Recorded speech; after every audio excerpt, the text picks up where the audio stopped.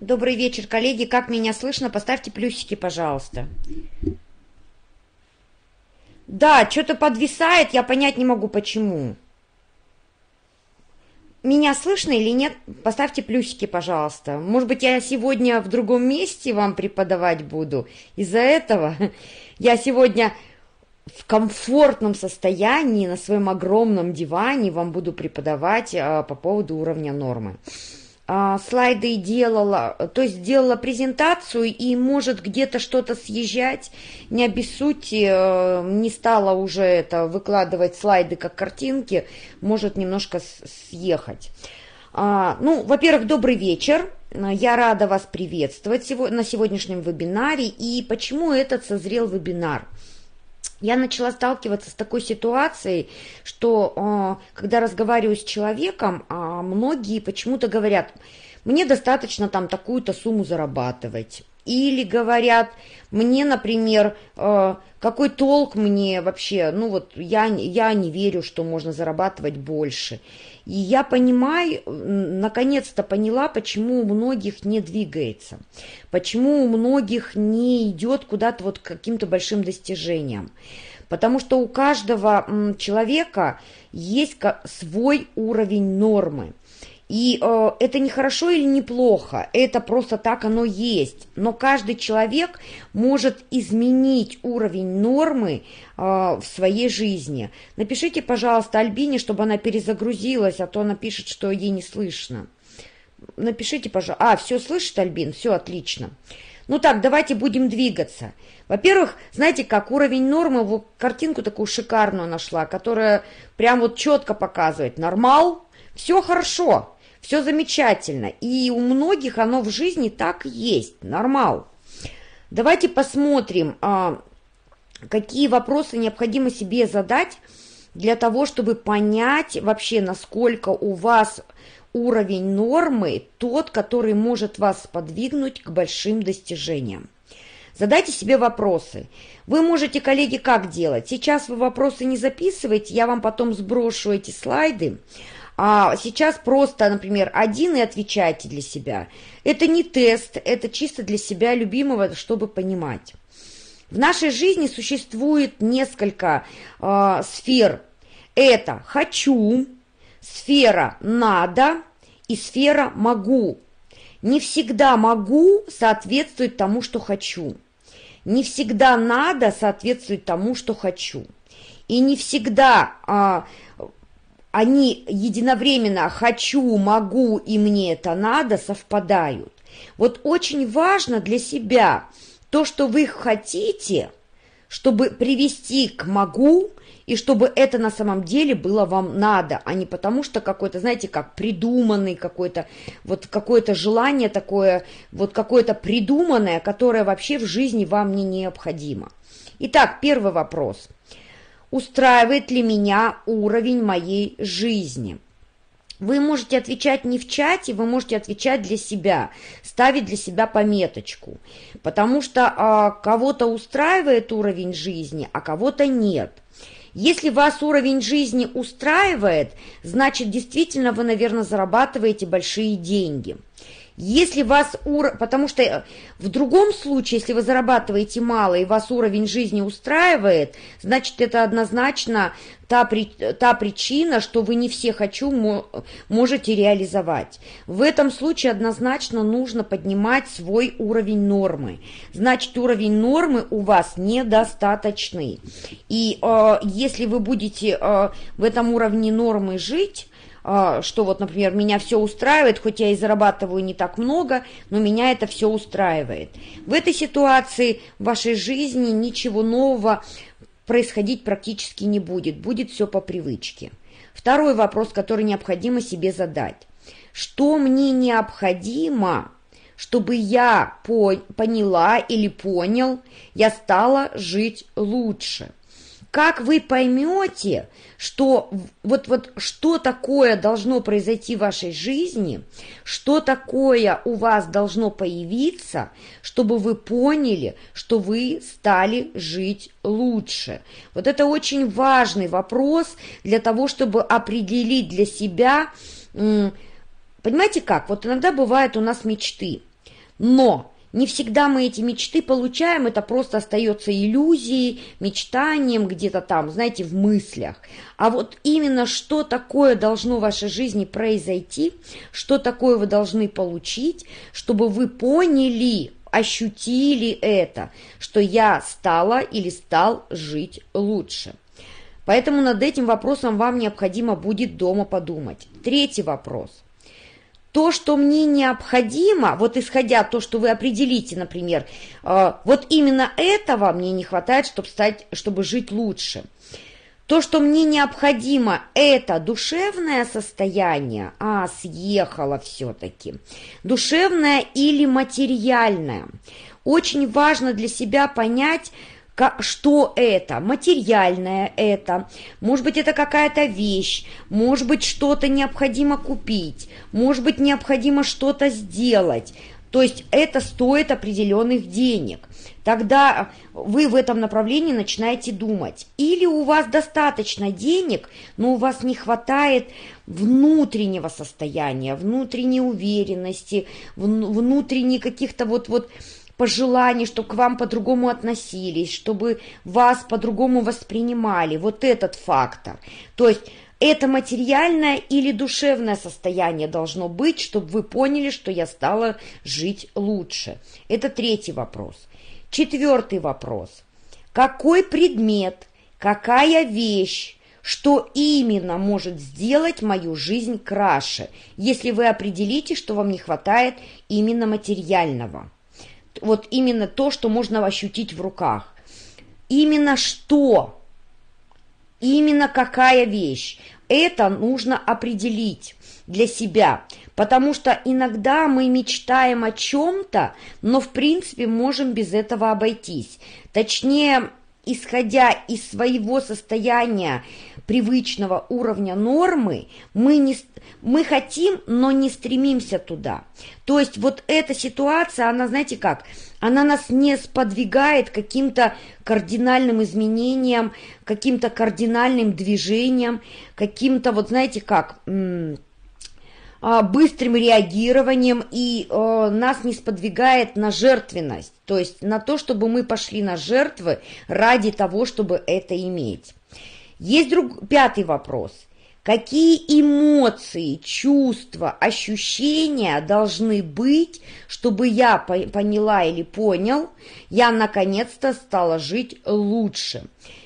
Если это душевное состояние, вот если это не материальное, а душевное, но даже в материальном, коллеги, очень важно понять, что когда вы получаете что-то материальное, там обязательно должно быть составляющее душевное.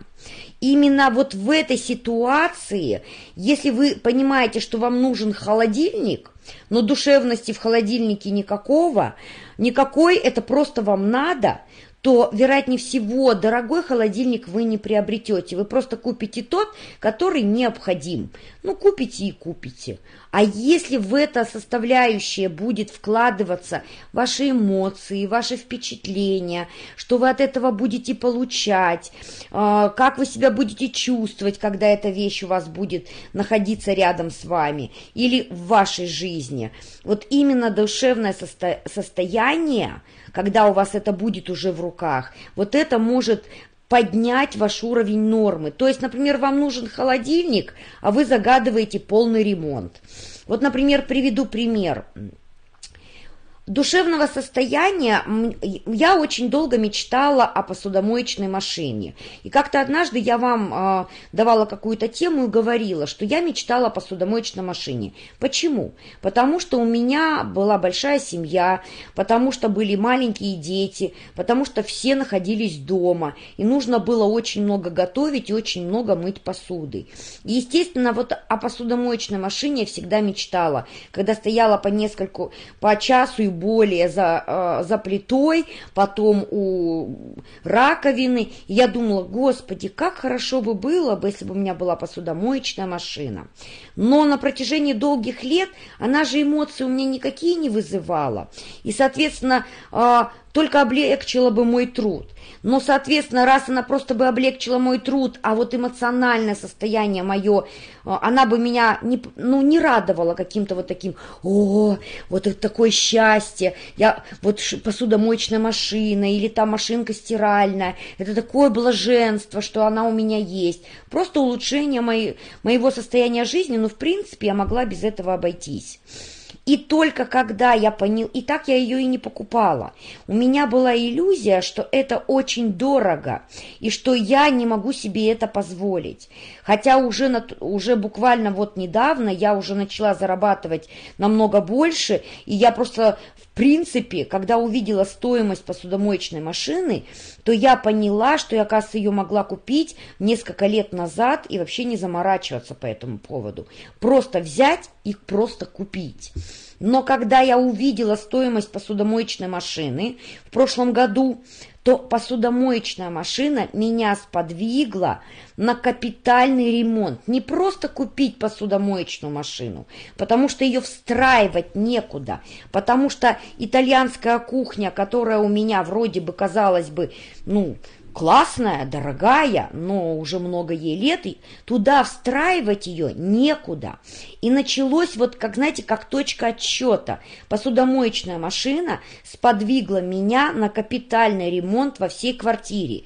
Я поняла, что мне необходимо поменять кухонный гарнитур и определить место для посудомоечной машины, хотя вроде бы дети выросли, хотя вроде бы такого количества еды приготавливать уже не нужно. Но я вот эту историю вам рассказываю, рассказываю, чтобы здесь более четко а, объяснить вам, когда вы будете отвечать на эти вопросы, как поднять свой уровень нормы. Потому что посудомоечная машина – это не поднятие уровня нормы, но какая-то вещь может быть для вас точка отсчета для поднятия уровня нормы. Да, да, Татьяна, у меня, у меня начался ремонт с посудомоечной машины. Я начала думать, куда я ее могу пристроить? Некуда. Значит, нужно менять кухонный гарнитур. Ну а если я буду менять кухонный гарнитур, а что бы мне не сделать? Хотя у меня ремонт был в кухне.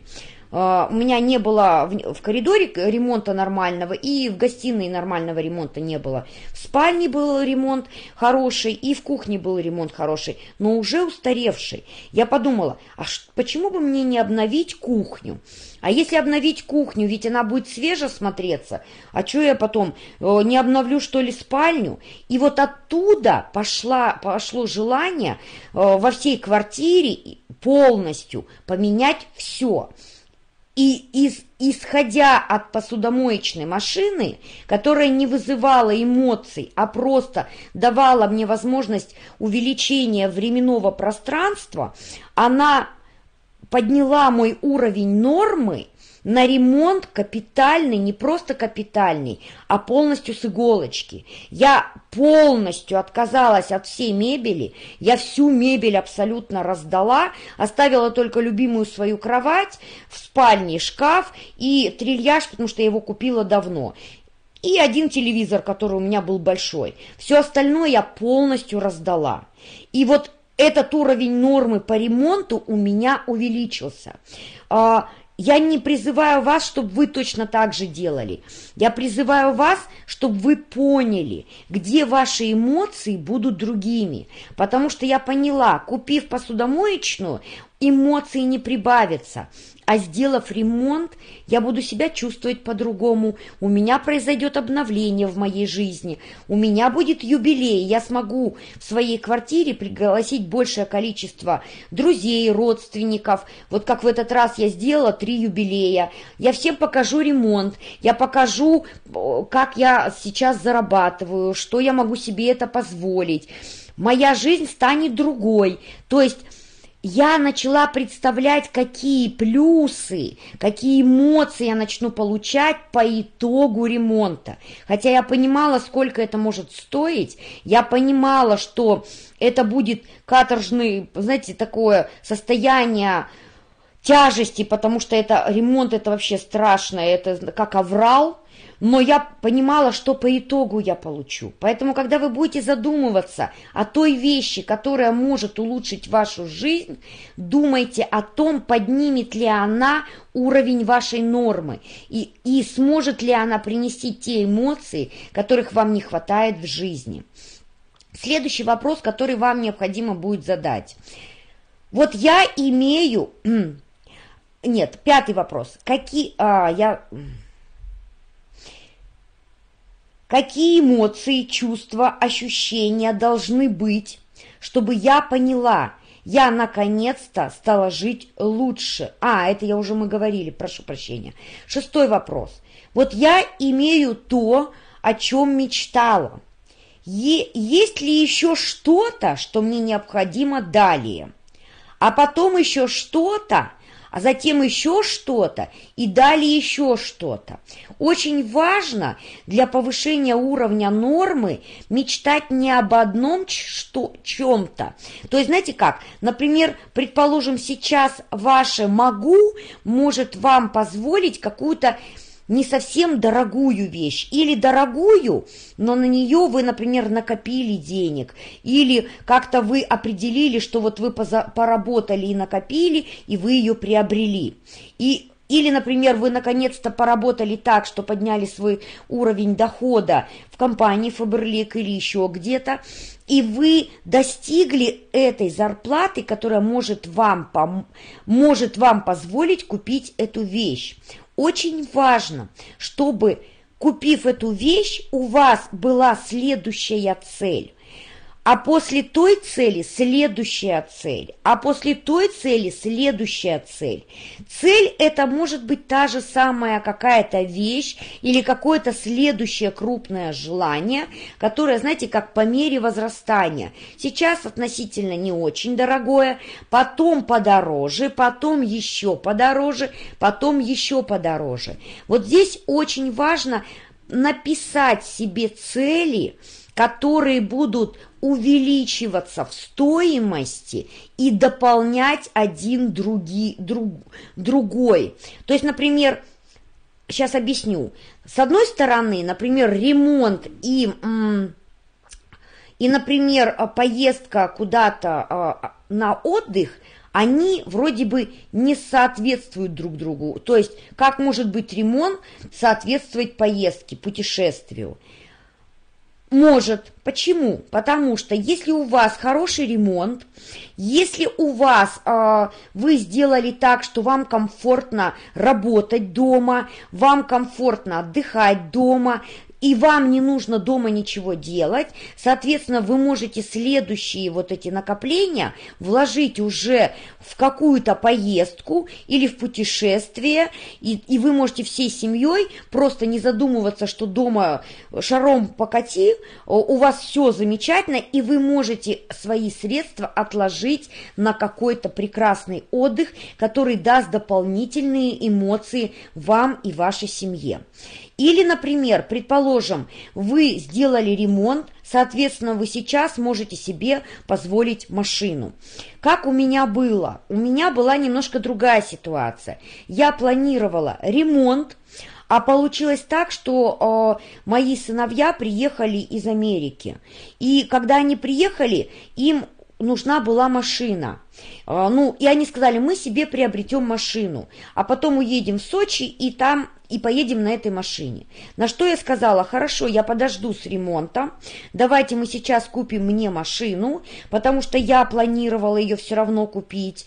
Я эти деньги перевела на машину, вы будете на ней ездить, пока вы находитесь здесь рядом со мной, потом вы уедете в Сочи, а я уже впоследствии потом буду делать ремонт. То есть иногда может быть перераспределение тех накопленных, запланированных средств, которые у вас запланированы на какую-то цель. Хуже, когда вы планируете только одну цель, и, а с последующих целей у вас нету. Вот здесь сразу получается, что ваш уровень нормы в жизни, он низкий. Вот дай Бог сделать это, а дальше уже, Господи, будем просто жить. Важно, чтобы цель всегда не заканчивалась, чтобы была следующая, потом была следующая и была следующая. Поставьте мне, пожалуйста, единичку, у кого есть одна цель, а о последующих целей вы не думали. А, или, ну вот, меч, в меч, мечтаний целей. И поставьте мне пятерочку, у кого есть такое, что вот сейчас достигну одну, потом будет следующая, потом будет следующая. Однерку, у кого одна цель, и о последующих мечтаниях и цели вы не думали. Спасибо, Галина. О, Татьяны прям целая куча пятерок. Отлично! Какие вы у нас молодцы! Замечательно! Замечательно. Спасибо вам огромное, что вы мне ответили. Вот если у вас есть распланированные одна за другой цели, значит ваш уровень нормы уже на несколько порядков выше, чем у многих тех людей, которые живут просто в социуме. Потому что а, если вы, например, приглашали людей себе в команду, то вы сталкивались с такой ситуацией, что у многих практически или нет мечт, или их настолько мало, или они думают, вот дай бог бы вот только вот, вот, вот купить бы квартиру, а дальше трава не расти. Главное, чтобы было вот самое материальное что-то, вот, вот самое основное, больше ничего нету. Поэтому то, что вы мне ответили, э, и я вижу, что все ответили, что у всех есть последующие цели, это прекрасно. Если, вот Леночка нам ответила, что у нее есть одна цель и последующих нету. Это не страшно. Это хорошо, что вы а, при, вот сейчас, если вам стало понятно, что должны быть последующие цели, то вот это может быть точка отсчета для увеличения своего уровня нормы. Почему необходимо поднимать уровень нормы? Потому что если вы его не будете поднимать, то вы будете продолжать зарабатывать столько же, сколько вы зарабатываете. Если ваш доход даже и увеличится, то он увеличится буквально на небольшую сумму, то есть порядка на, прибавится на несколько тысяч. Но в мире намного больше есть того, о чем можно мечтать и куда можно двигаться.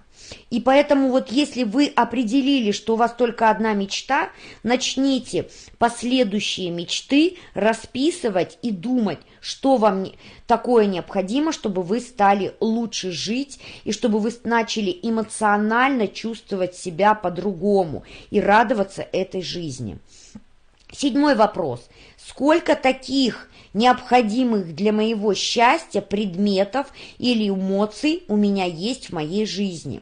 То есть, во-первых, то, что у вас есть уже сейчас, во-вторых, то, что вы запланировали. Это вот то, что будет впоследствии. Чем больше их будет, последующих один за другим, тем будет больше увеличиваться ваш уровень нормы. Если у вас, предположим, их пять основных, Тогда попробуйте увеличить, чтобы их стало 10. Если у вас 10, увеличьте на 15. Если у вас, например, 100 таких желаний один за другим, тогда просто-напросто увеличьте стоимость этих желаний. Мы об этом будем поговорить Далее, всегда необходимо поднимать уровень нормы свой, чтобы действительно только тогда Вселенная начинает вам притягивать большие доходы, а, большее количество реализации мечт, намного всего больше и больше и больше. Чем больше вы хотите, тем больше вам дается. Каждому человеку дается столько, сколько он может унести сколько он может вынести, сколько он может пожелать. Поэтому мысленно увеличивайте вот этот уровень нормы и обязательно прописывайте его в своих ежедневниках, книгах желаний, а, в своих коллажах мечты. И последний вопрос. А, как часто я заменяю свое «хочу» на «надо» и «могу»? Очень много бывает проблем у людей, а, Почему мечта, например, не сбывается или цель не достигается?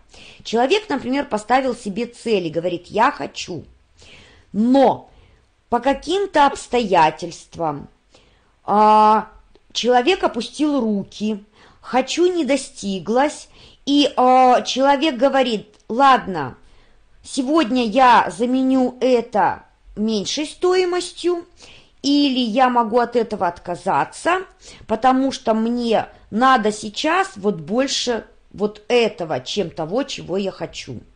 Вот здесь вот нужно вам будет взять прям большой листок, листок большой, и разделить его на две части, прям пополам. В одной части половинки вы пишете «хочу», то есть свои желания. Вот я сейчас попробую здесь, нарис... а, попробую здесь написать. Вы пишете «хочу», в одной части вы пишете, а вот в другой уже части вы пишете «надо». Потому что не всегда то, чего... Ой, я не... Ой, какая-то ссылка получилась у меня. Ну, я просто написала, надеюсь, вы поймете. Чисто визуально, чтобы вы поняли. Вот смотрите. С левой стороны вы пишете все свои мечты, а с правой стороны вы помечаете те мечты, которые у вас были, но по какой-то причине вы их заменили совершенно другим, тем, что просто надо. Может быть, это тот же, например, холодильник, ну это я вот говорю, но холодильник менее, э, менее э, дорогой, то есть более дешевый. Например, вы мечтали, предположим, о ремонте, а в конечном итоге просто, э, например, купили какую-то, буквально сделали, чисто только поменяли шторы и, например, поменяли какой-то диванчик, перетянули. То есть вот вот, вот такие «хочу», которые были большими ваши, и на что вы поменять ли надо. Если машина стиральная, например, у вас сломалась, и вам резко нужно поменять, вот, например, хорошо, хороший пример, Татьяна, вот как мне, например, я, например, хотела сделать ремонт, но приехали сыновья, и я эти деньги перераспределила на машину. Вот такой момент. Но здесь важно такой фактор. Посмотрите, сколько таких помененных «хочу» на «надо». И параллельно, вот рядышком с «надо» вы просто смотрите и прописываете себе следующий пункт. Далее, реализовали ли вы свое «хочу»? То есть хочу опять это. Вы начали на него работать, вы его получили впоследствии или нет? То есть вы отказались полностью от того, что хочу, или вы просто перенесли дату? Вот здесь очень важно. Если вы отказались полностью, значит ваш уровень нормы начал падать. А, вера ваша, уровень нормы, вы стали от многого отказываться. Если вы просто его перераспределили или перенесли на другое время, это не страшно. Это просто форс-мажорные какие-то обстоятельства или что-то такое непредвиденное. Это, возможно, а, могу ваше просто сработало так, что вы не смогли а, одновременно и то, и другое приобрести. Потому что вот смотрите, если мы идем, предположим, в магазин и хотим купить продукты, то мы очень часто можем купить и фрукты, и овощи одновременно. Одновременно мы можем купить такое количество овощей, сколько нам надо, и одновременно можем купить такое же количество фруктов, сколько нам надо. Но иногда бывает, что наше «могу» не соответствует тому, что мы хотим. Много, э, э, несколько лет назад, лет, наверное, дай бог, чтобы не соврать, наверное, лет семь назад я себя возненавидела, вот честно вам скажу, я просто себя любить перестала, когда я тоже многим рассказывала, когда я вышла из, из троллейбуса, а, где было огромное количество людей, где была давка, где меня практически затоптали в угол, где дышать было невозможно, было жаркое, безумное лето, весь потный, вообще вот все потные, потому что была жара неимоверная. Я вышла, как выжатый лимон, психованная, злая, как собака. Вот на самом деле. И я про, и про, я шла домой. И вот в этих мыслях и эмоциях неудовлетворения я у меня тогда не было машины и не было достаточно денег, чтобы ездить на такси. Точнее, я говорила себе, я не могу себе позволить такси. Мне казалось, что на троллейбусе этого достаточно. И я проходила мимо а, лотка, у нас на улице очень часто такие лотки стоят на улице, и там продают огромное количество различных фруктов и овощей, арбузы, киви, чего, чего только нету. То есть вот на тот момент я подошла и увидела, что помидоры такие, помидоры сякие, авокадо, вот, вот все, чего только душе угодно. И я себя поймала на мысли, что мало того, что я езжу на троллейбусе, хотя, в принципе, вроде бы как зарабатывала я уже, и зарабатывала, в принципе, неплохие деньги, но я увидела себя еще с другой стороны. Я подошла к этому лотку и поняла, что я могу позволить себе только самое необходимое. Это что необходимо? Купить помидоры, огурцы на салат и зелень на салат. А уже на фрукты, ну, могу купить апельсин там, чтобы порезать, ну и парочку бананов. И больше ничего. И я подумала, это как я себя уважаю? Это как я уважаю свою семью, что я не могу для своей семьи, для своих сыновей купить фруктов и купить овощей. А ведь они вырастают, ведь они скоро вырастут и уедут, но они в своем детстве не увидят того количества овощей и фруктов, которые необходимо им для того, чтобы они росли и развивались. И тогда я себя возненавидела второй раз.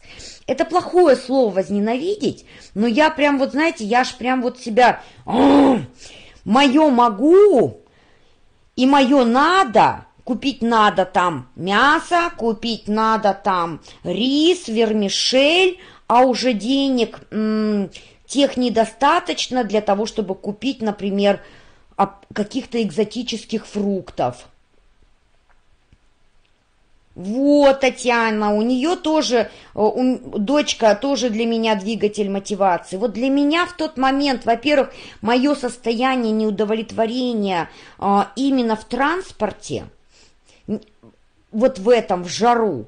И второе неудовлетворение, что стояли бабушки с пенсии, и они покупали себе киви, мандарины, а я просто проходила мимо или покупала изредка. Вот это мое, вот это состояние меня тогда сподвигло, что я не имею права и я обязана сделать что-то такое, чтобы мои сыновья и, и моя семья, и чтобы я могла себе позволять намного больше. Вот тогда была отправной точкой для меня вот эта ситуация. Поэтому вот я реком... вот тогда уровень нормы мой пошел вверх. Я сказала, я не хочу больше ездить в троллейбусе в давке. После этого я стала, поменяла вначале на маршрутное такси. Потом, оно дороже, но оно более комфортное. Потом маршрутное такси я поменяла на такси, потому что для меня стало время деньги. Я стала на такси ездить. Когда я посчитала, сколько я денег трачу на такси, я поняла, что мне проще купить машину, чем ездить на такси, потому что я за день тратила очень много денег э, именно на поездку в такси, но зато я экономила время. И вот тогда пришло решение купить машину.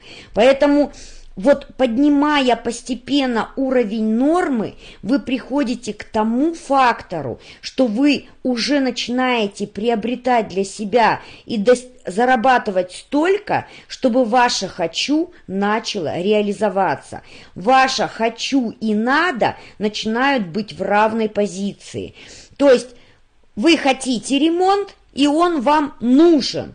Но вы делаете не дешевый ремонт, косметические, а вы делаете такой, какой вы хотите. Вот это состояние, постоянное увеличение уровня нормы, желание и подталкивание себя, как знаете как, вот подталкивание себя к большему мне начало приносить больший доход и большие достижения. Поэтому вам нужно попробовать, исходя из своей ситуации, себя проанализировать и начать поднимать в этом направлении уровень нормы.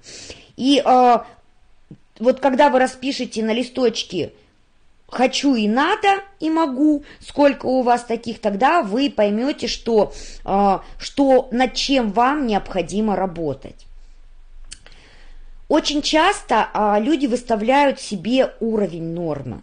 То есть уровень нормы выставлен обществом, окружением многим другим выставлен, и человек себе устанавливает э, уровень нормы. Например, есть такой минимальный прожиточный минимум, есть максимальный прожиточный минимум, есть минимальная заработная плата, есть максимальная заработная плата.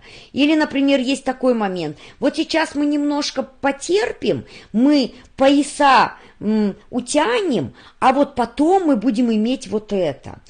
На самом деле, я вам скажу честно, когда мы устанавливаем себе конкретную планку, конкретный потолок уровня нормы, вот я достигну квалификации директора, и жизнь моя станет краше, Фаберлик, я вам честно скажу, это уровень нормы, и он равен прожиточному минимуму, потому что доход в 40 или 50 тысяч не реализует ваши все планы.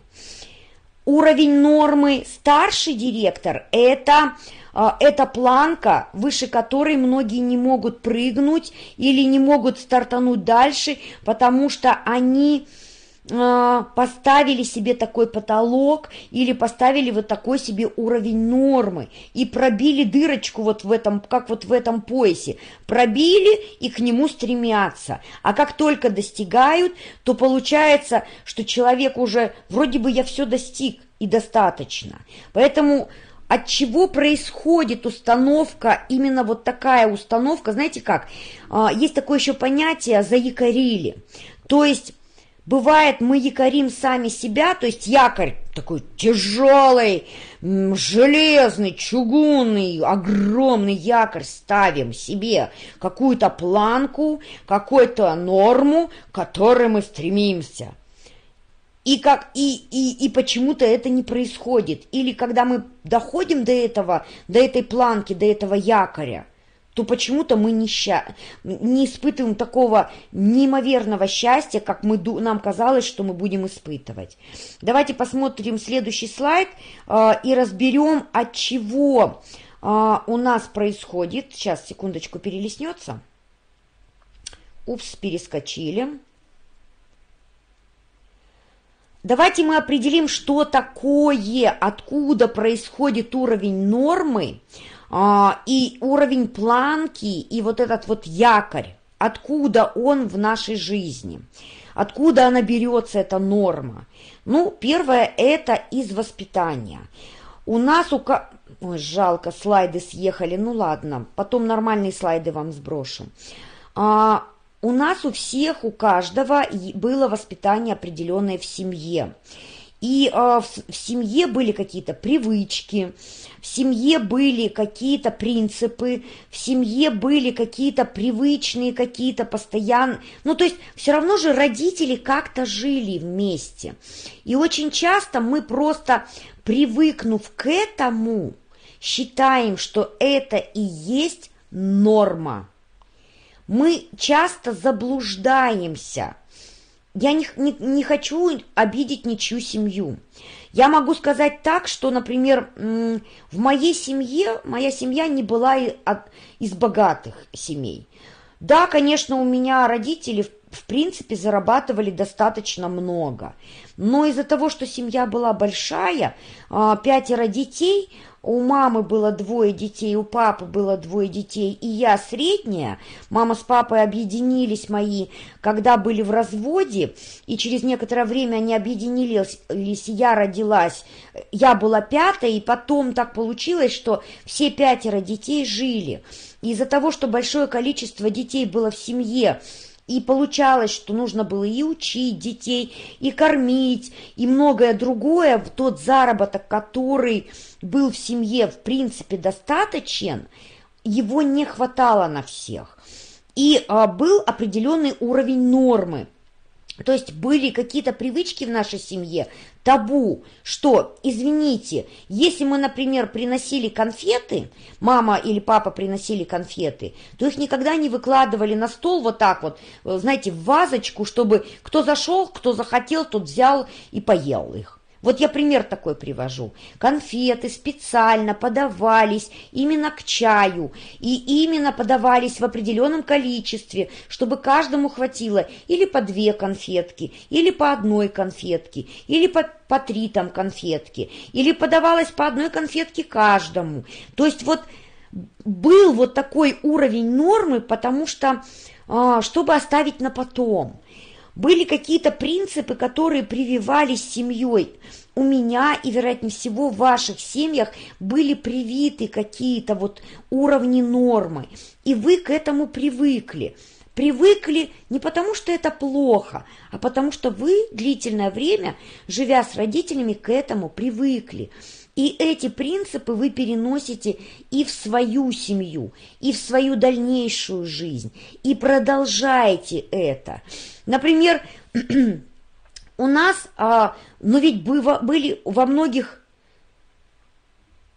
у нас также было, да, да, Оксан, это было СССР, это так было принято. А, еще было принято, например, у кого-то были хорошие принятые правила в семье, норма, что все должны... Вот, например, в семье в какой-то было принято честность, порядочность,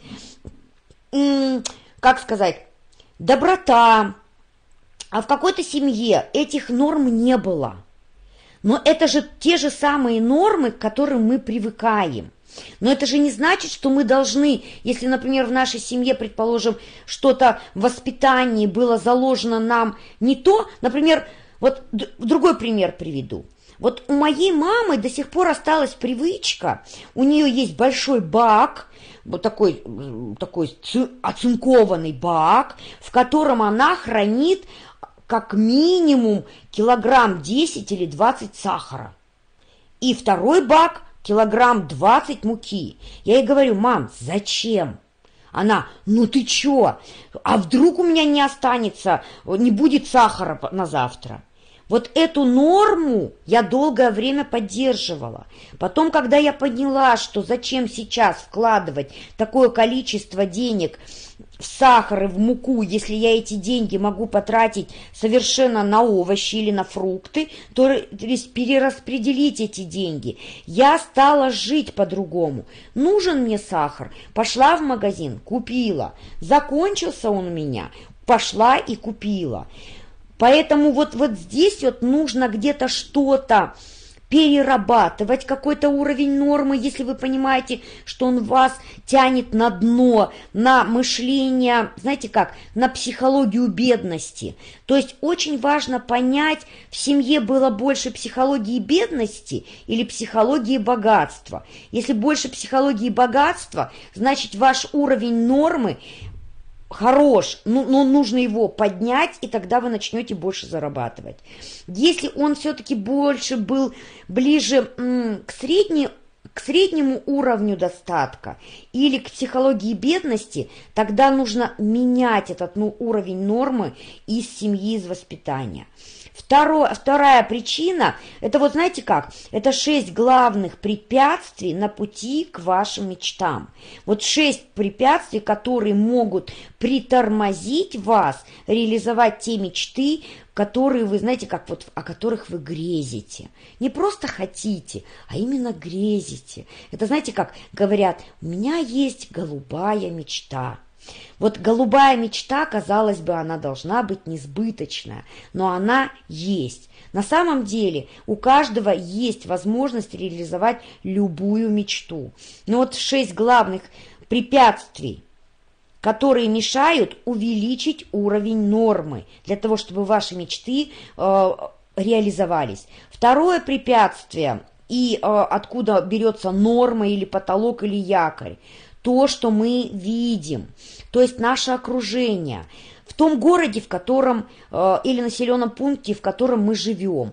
Мы привыкаем видеть уровень жизни людей. Если вы, например, живете в элитном поселке, где живут одни богатые люди, которые ездят на дорогих машинах, которые зарабатывают большие деньги, которые строят высокие коттеджи, у вас автоматически меняется уровень нормы.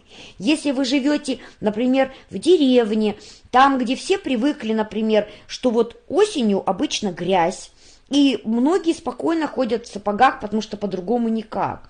Я не говорю, что это плохо жить в деревне, но вот эта привычка, вот это окружение, например, соседи, с которыми вы общаетесь, или, например, друзья ваши, которые зарабатывают мало того, что так же, как вы, может быть, еще ниже вас, у них еще хуже уровень жизни. Я не говорю, что не нужно с ними дружить, но мы привыкаем к тому, как живут наши близкие, к тому, как э, наше окружение живет, какими принципами, какими нормами, что для этого окружения хорошо, а что для этого окружения плохо. А ведь там очень часто многие говорят э, фразы, которые вот я написала ниже, но о них мы позже поговорим. То есть очень часто наше окружение влияет на наш уровень нормы, потому что мы не видим или не позволяем себе куда-то вырваться, чтобы увидеть совершенно другую жизнь. А если мы этого не видим, если мы это видим по телевизору, но не ощущаем на себе, мы не понимаем, насколько там лучше, чем здесь, где мы живем. Третье препятствие, которое мешает реализоваться мечтам и повысить уровень нормы, это маленькая зарплата или среднестатистический минимум, тот доход, который мы получаем. Предположим, смотрите, здесь тоже все относительно. Например, в маленьком небольшом городе доход, э, зарплата 15-20 тысяч, 30 тысяч, 30 тысяч или 20 тысяч, это вроде бы ого-го, это хорошо. А для большого крупного мегаполиса 30 тысяч – это порог бедности, потому что заплатить за квартиру, дорога и многое другое – все, есть уже не на что. Поэтому здесь все относительно, и вы здесь должны для себя понять, ваша зарплата маленькая, она средняя или она достаточно хорошая, чтобы поднять ваш уровень нормы. То есть вот эта маленькая зарплата очень часто говорит, можно хотеть что угодно, но могу я себе позволить только это. Поэтому вот она часто влияет на наш уровень нормы. Четвертое препятствие – это длительное время проживания в уровне ниже среднего. То есть, если вы, предположим, очень долго жили с родителями, а там был уровень нормы низкий, потом вы перешли в семью, э, женились, замуж вышли, а там э, вы пока не переступили ту грань именно более большего дохода или больше того, что вы можете себе позволить, а продолжаете жить, может быть, чуть лучше, чем родители – но практически в том же уровне нормы. И вот если вы живете в этом не, много лет, длительно, то образуется также привычка. То есть, если вы каждый год живете и никуда не вырываетесь в какую-то другую страну, в какой-то другой отель, в какой-то другой магазин или что-то другое не позволяете себе, а живете длительное время в этом среднем уровне, то это также ставит планку, который вы, через которую вы не можете перепрыгнуть. На самом деле вы перепрыгнуть можете, но мышление срабатывает, что я не могу себе это позволить. Это работает мышление. Это, знаете, как многие говорят, вот в кавычках, как те тараканы, которые мешают нам жить. А, пятое а, препятствие – это мотивация, в кавычках или поддержка в кавычках близких людей. Вы, например, приходите после какого-то обучения или вебинара к мужу или к маме и говорите «Все, я теперь понимаю, что нужно делать, и я точно это буду делать. Вот, вот ты знаешь, как нужно, нужно сделать вот это, вот это, вот это». А ваши люди, близкие, родные, любимые, они живут в том уровне нормы, они не побывали на этом обучении, они не хотят, у них нет своих мечтаний, и они начинают вашу планку занижать. Они говорят, стоп! И ваша мотивация начинает рушиться. А, они говорят, ну-ну, Давай, не все, не все. Если вам ваши близкие помогают и вас поддерживают, давай, еще немного, еще чуть-чуть, у тебя все получится. Но чаще всего бывает наоборот, когда вам начинают говорят, ну-ну, давай посмотрим, как у тебя это получится.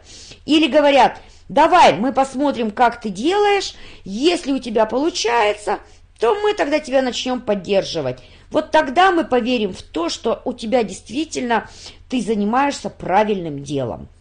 И вот эта антимотивация и антиподдержка близких людей, даже любимых людей, она очень часто влияет на наш уровень нормы, точнее на занижение уровня нормы по своей мечте. Шестое, шестое препятствие – это неудача или недостижение, или не получилось. То есть, предположим, вы запланировали, захотели, но по каким-то причинам вы туда не дошли. Бывает такое, и причин огромное может быть множество. Могут быть реальные причины, почему вы не дошли, а могут быть надуманные причины, на, а, знаете как, отговорки, где, то есть, знаете как, я, например, я не стала что-то делать, я не поверила себе, что я могу это сделать, я в какой-то момент развернулась и перестала это делать, но зато я говорю, что все виноваты вокруг, а я не виновата, у меня не получилось. Очень часто бывает, что человек останавливается буквально на нескольких шагах до реализации своей мечты это вот как раз не получилось, произошла неудача, а, и человек останавливается. И вот это шестое, самое большое препятствие из всех остальных. Потому что даже если человек реализовал все пять препятствий, где-то закрыл на них глазах и пошел, но остановился на недостигнутом по какой-то причине, остановился и сказал, да не буду больше пробовать. Все, вот это шестое препятствие берет и просто-напросто все перечеркивает. А, очень часто, знаете как, многие в этот момент говорят, да, нежели богатые не надо. А, а да, мне вас богатых не понять. Мне очень часто стали эту фразу говорить, на нам вас богатых не понять. А я думаю, я богатая, да я не богатая, мне недостаточно этих денег, которые я получаю. Я хочу то, я хочу это, я хочу ту, и вот это, и вот это, и вот это. Но мне точно так же приходится что-то делать для того, чтобы это получить. Я не считаю себя богатым. Я считаю, что я, в принципе, средне, достаточно, ну так, прилично зарабатываю но я абсолютно не богатый человек, потому что если посмотреть на богатых людей, они могут позволить уже жить не просто припеваючи, они могут инвестировать свои доходы, они могут уже много-много-много что э, делать такого, что я себе не могу позволить. Но очень часто слышу уже эту фразу, и очень часто многие, останавливаясь, эту фразу произносят. Потом некоторые, когда у них не получится, говорят, да зачем жиру беситься? Жили мы прекрасно, нормально, в принципе, нормально, норма, нормально, и так было нормально. Да и проживем, ничего с нами не случится. Главное, счастливы все и здоровы, и слава Богу. Или, например, говорят фразу «У нас все есть, зачем наизнанку выворачиваться?» Да и так пойдет. Я иногда говорю такую шуточную фразу из анекдота – у меня все есть, слава КПССов. Ну, я так шучу. А, у меня просто такая поговорка. Может быть, у вас есть тоже какие-то такие поговорки, когда хочется пошутить, пошутковать, а, сказать какие-то смешные такие фразы. Ну вот у меня к вам вопрос. Напишите мне, пожалуйста, коллеги, простите, у меня тут пиликает, я сейчас это отключу звук, забыла отключить звук. Скажите мне, пожалуйста, коллеги, напишите, были ли у вас такие ситуации, когда вы понимали, что одна дверь у вас не открылась, вторая дверь не открылась, третья дверь не открылась, вы сложили лапки и сказали «да и хай». Да и не буду я, да и расслаблюсь я. Раз не получается, значит не судьба. Было ли такое у вас? Поставьте мне, пожалуйста, плюсик, у кого такое было. Потому что у меня было миллион раз. Но как только я поняла, что у меня, что это я себя наказываю, Ой, спасибо, какие вы откровенные, спасибо вам большое, мои дорогие. Как только я поняла, что это я себя наказываю, и я себя лишаю тех меч мечтаний, которые я могла реализовать. Я себя наказываю, и я понимаю, что я впоследствии потом откладываю свою мечту на год, на два, на три, на пять. И у меня было такое, что у меня была отложенная мечта на 10 лет. А сейчас я думаю, господи, боже ж ты мой, я 10 лет – могла уже жить так, как живу сейчас я. Но из-за того, что я получила где-то по, баш... по голове, извините за выражение, то есть у меня что-то не получилось, я сказала, да и хай. Пусть этот мой уровень нормы, в принципе, норма, и так нормально. Не хуже других живем. Я так даже еще иногда говорила. Но следствие, когда вы отказываетесь от своей мечты, следствие происходит очень огромное. Начинаются страхи. Вдруг не получится. То есть начинается страх. Вот, например, что-то захотели вы, другое но у вас уже есть тот страх, потому что тогда вы отказались. То есть, чем больше раз вы отказались от своей мечты, тем сильнее страх начинается в вашей жизни, потому что вы будете уже бояться, а вдруг не получится. Но на самом деле есть такая фраза шикарная. Страха не существует. Страх – это то, что вы себе придумали. Потому что на самом деле – есть друго, другая фраза. Если дверь не открывается, стучитесь в другую. Если вторая не открывается, стучитесь в третью. Если третья не открывается, стучитесь в четвертую. Стучитесь до тех пор, пока не получится. Это мне привил отец. Огромное ему спасибо. Мой папа привил мне такую привычку. Я как баран, вот, вот упорная, Злюсь на себя, на всех злюсь, психую, но бьюсь до тех пор, пока у меня не получится. Некоторые говорят, вот упорно, да ты ужас какой-то, ты что, как баран на новые ворота прешь? А я не могу, я не хочу впоследствии бояться. Мой уровень нормы мне не позволяет не достичь своей цели, не достичь своей мечты. Правильно говоришь, Оксана, один раз только вы сделаете и достигнете хотя бы самой маленькой мечты, страх начнет развеиваться. Как только вы начнете отказываться и не достигать, и не получать, то сразу же у вас начнутся страх на страх накладываться – Ищите и найдете, просите и получите, стучите и отворят. Спасибо огромное, Галина. Какие у нас фразы классные, прям пословицы пошли. Пишите, пока я дальше говорю. Также, когда вы вот эти шесть препятствий, если вы все-таки этот уровень нормы не поднимаете, то вследствие помимо страха происходит неудовлетворенность. Неудовлетворенность собой, неудовлетворенность жизнью, нервоз на семью, раздражение на детей, э, псих на мужа, э, раздражение на окружающих, потому что вы недовольны, вы не получили позитивные эмоции, вы не получили то, чего вы как... Вот знаете как, если у ребенка забрать игрушку, он, например, сидел, играл, так радовался. У него был тактильный контакт с этой игрушкой. У него было такое счастье в глазах. И у него эту игрушку вы, родитель, не забираете. Например, второй ребенок берет у него и забирает. У ребенка наступает вот этот испуг, страх, неудовлетворение и, естественно, просто вот реакция, крик. Вот это ощущение вы испытываете, когда вы не достигаете своей мечты. Поэтому нужно обязательно ее достигать, чтобы не чувствовать себя, знаете как, дискомфортно, чтобы не чувствовать себя ущербно, потому что вот наступает какая-то ситуация ущербности.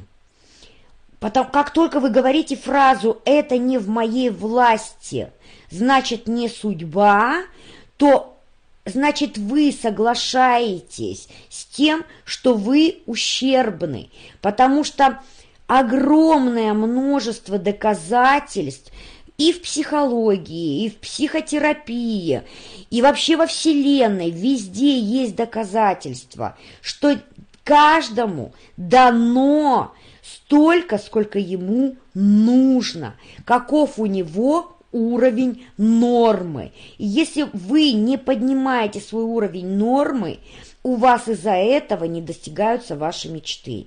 И получается страх и неудовлетворенность. Соответственно, как снежный ком, следствие идет это лень. А что такое лень? Лень – это отсутствие мотивации. И так, и так сойдет, не умираем же. Многие говорят, да и ладно, и так сойдет, не умираем же.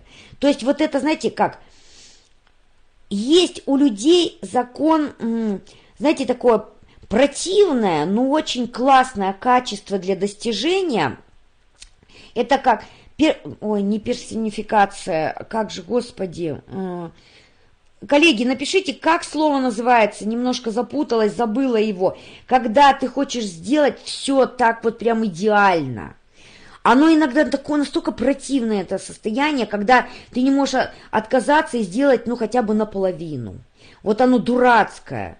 Правильно Галина пишет, Перфекционист, во, правильно, Татьяна, а я говорю персонификация. Перфекционист, с одной стороны, это отвратительное состояние, потому что человек иногда не может перескочить и сделать что-то другое, пока он здесь все не доведет до идеала. Но с другой стороны, это отличное качество, потому что у человека, кто перфекционист, у него лень, она ее не может быть. Она бывает, потому, но очень редко, когда он просто устал, когда ему нужно просто отдохнуть. Потому что он пока не доведет до идеала, пока он не достигнет вот этого вот меч... предела мечтаний, он не успокоится. И вот правильно Галина написала, приходит уныние, а уныние самый Правильно говорите, тяжкий грех. Только тот, кто умеет радоваться, только тот и живет. Правильно говорите. Давайте посмотрим следующий слайд, который я вам хотела бы показать. Ох, как быстро время-то идет. Я думала, что я быстро пробегусь. Есть такая замечательная фраза, которую мне говорил мой наставник в самом начале пути, когда я только пришла в компанию Фаберлик и всего боялась. И я хотела, но я боялась. И он говорил, он улыбался и говорил, Александр Лусенко мне говорил, Татьяна, да давайте попробуем сделать а потом вместе бояться будем. Чё, чё не попробовать, ну не получится, не получится, получится так получится. Получится, значит, вам хорошо. Не получится, ну, значит, попробуем что-то другое сделать. Давайте вначале попробуем. И вот эта фраза у меня, она прям засела в голове, и она мне помогала жить. И многие знают, что я мной, э, некоторым своим консультантам такую фразу говорила, давайте попробуем, а потом вместе бояться будем. Потому что когда ваши мечты будут сильнее ваших страхов, они начнут обязательно сбываться. Если, помните, я вам говорила, что если вы свои мечты начнете поднимать в уровне нормы, то есть каждая ваша мечта должна стоить намного дороже, она должна быть намного больше, то есть то же самое, но намного больше. Я не буду о, говорить м, фамилию одного лидера. Да, Альбина, точно, я говорю. Давайте попробуем, а потом вместе бояться будем. А, вот я не буду назвать фамилию одного консультанта в моей структуре, но а, вот недавно буквально с этим консультантом был разговор, и я задала вопрос, что за мечта у тебя пристрой к дому? Что это такое? Пристрой дому. Я даже представить себе не могу, что это за мечта. И когда она начала говорить, что, что значит предстрой, это значит большая, огромная, а, зимняя а, столовая. То есть там можно как летнюю столовую делать, а можно как зимнюю столовую делать. То есть это будут окна до пола, куда будет солнышко заглядывать и утром, и вечером. То есть видна будет вся природа и лес вокруг. Это потрясающие окна, которые будут давать огромное количество света в этой комнате. Там будет стоять красивый, огромный обеденный стол, за которым будет собираться вся большая семья со своими а, мужьями, женами, с, с детьми, с внуками, куда будут приезжать гости, где, вы, где можно будет собраться огромным количеством гостей, где будет стоять потрясающая кухня со всей встроенной техникой, чтобы готовить красивейшие блюда, чтобы все были счастливы, будет комната отдыха, где могут будут, будут диванчики, где будут удобные кресла, где люди могут посидеть покушать, потом посидеть отдохнуть, пообщаться. И все это в, в красивейшем помещении, которое будет, будет рядом с тем домом, в котором живут. А там, где была раньше кухня, будет потрясающий кабинет, где будет стоять компьютер, потрясающий стол, удобная зона для работы. Именно кабинет для работы. Вот когда мне расписала лидер, вот чего она хочет, то слово «пристрой к дому» это вообще абсолютно разные вещи.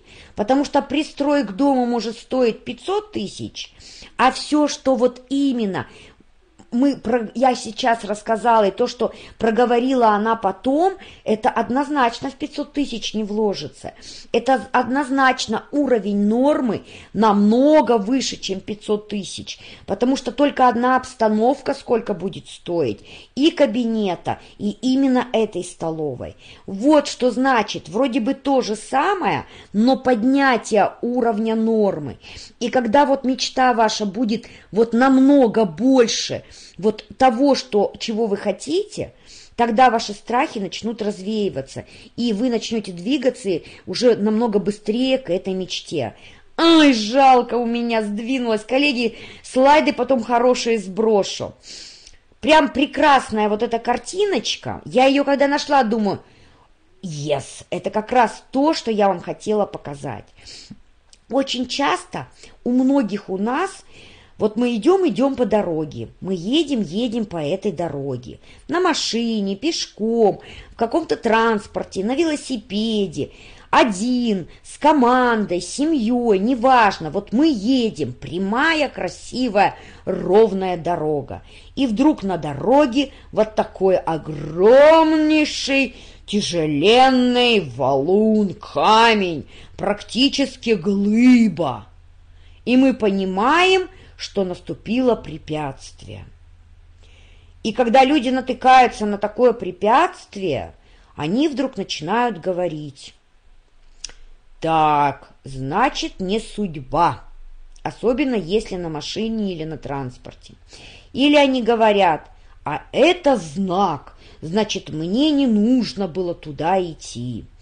И начинают придумывать огромное количество оправданий, доводов, почему этот валун, глыба лежит на их пути. И, и потом они это обсуждают сами, обсуждают со, своими, со своим окружением, почему они не смогли туда дойти, на что, почему была такая причина, что машину же невозможно перетащить через этот валун, а пешком вот, вот сложно дальше идти. Да вот неизвестно, что с левой стороны от этого валуна, а там вдруг прям вот пропасть, а справа неизвестно, вдруг там болото. И вот, вот обойти этот камень-то невозможно. И целую кучу оправданий, почему это не случилось. Очень часто многие повисают именно вот на таком препятствии, хотя на самом деле, если эту картинку убрать, если по этой картинке взять и обойти – вы знаете как? Как только наступает препятствие, есть как минимум два выхода. Вот даже по этой картинке. Обойти слева или обойти справа. разными способами просто обойти и двинуться дальше. Но если эту картинку рассмотреть, если убрать этот валун, то за этим валуном как раз может быть та мечта, как раз между вот этими, э, вот справа видите э, какое-то вот такое, как будто что-то насыпь какая-то, и слева насыпь, а между ними там как раз то пространство, где, где лежит и ждет вас ваша мечта. И очень часто мы буквально два шага не доходим из-за того, что вдруг кто-то нас остановил или что-то нас остановило. Давайте сравним. Смотрите, почти все хотят машину, ну практически все, если не сами, то в семью. Но какую машину? Машина машине рознь. Почти все хотят квартиру или хотя бы дом. Но какие квартиру или какой дом? Почти все хотят ремонт или и новую мебель. Но какой ремонт? Ведь можно купить дешевые обои, а можно сделать и просто наклеить, или даже дорогие, но просто наклеить обои. А можно снести стены, прорубить проход, поменять э, пространство, э, сделать другую проводку, поменять полностью всю сантехнику и только после этого выровнять стены и, и наклеить самые дорогие обои. Какой ремонт? Какую мебель? Ведь это очень важно. Какие? Почти все хотят красиво одеваться. Но какая должна быть одежда? Она будет, вы будете ее покупать в бутиках, такую вы хотите. Вы будете покупать от Бая э, Алены Ахмадулиной и от Валентина Юдашкина, но самую дорогую? Или вы будете покупать просто базовую или в секонд-хенде одежду? Какую одежду вы хотите покупать? Вы хотите покупать шубу, которая стоит 500 тысяч? Или, или шубу, которая из искусственного меха? Какую одежду вы хотите себе купить? Сравните это. Почти все хотят вкусно кушать. Но какие продукты? Я вам перед этим говорила. Какие продукты вы будете кушать? Какие витамины? Вы будете кушать только бананы? Или вы будете позволять себе экзотические фрукты, которые вы никогда не пробовали? И каждый раз вы будете пробовать новый фрукт, который вы никогда не пробовали. Почти все хотят отдыхать и путешествовать. И я знаю, что прекрасный отдых просто поехать на озеро, где вы живете, или посидеть на рыбалочке, или, например, съездить, например, э, на какую-то экскурсию в соседний город, или совсем рядышком в Москву. Но ведь есть совершенно другой отдых. Есть отдых за рубежом, и есть отдых э, в теплых странах, есть отдых в Турции, а есть отдых на Бали. Есть отдых, например, на Кипре, а есть отдых, например, э, в Европе. И они абсолютно разные. Куда вы хотите поехать? И сколько раз вы в год будете ездить? Ведь это тоже очень важно. А если у вас в мечтах и в целях вот такие поездки, а не просто какие-то путешествия небольшие? Не потому, что вы не можете себе позволить, а вообще, хотите ли вы это делать? Почти все хотят признания и значимости в семье, в окружении, у друзей. Но где вы хотите? Где и насколько? Вы хотите, чтобы ваши друзья сказали... Знаете, как была ситуация, когда а, мне один мой консультант сказала фразу, буквально вот, буквально в этом году. И спасибо ей огромное за эти слова. Она сказала, знаешь, Тань, мы, просто она меня знает очень давно. Мы с ней были знакомы еще до Фаберлик. И она сказала, знаешь, Тань, ты мне и всем сейчас доказала, что действительно Фаберлик, что о, и, мест, что а, Фаберлику есть место быть, что Фаберлик это действительно то, что может дать вот, вот то, что ты сейчас имеешь. И я понимаю, насколько больше ты дальше будешь иметь, именно благодаря Фаберлик. Я сейчас понимаю это. И спасибо ей огромное за эти слова.